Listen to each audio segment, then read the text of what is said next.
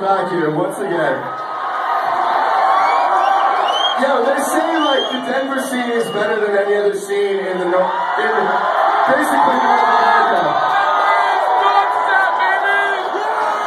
I must agree.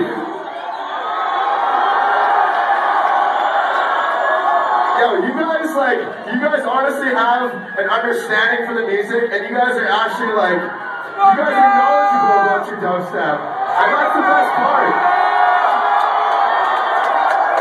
You guys know what the fuck's up, and honestly, I got nothing but respect for you guys. So thank you so fucking much for having me.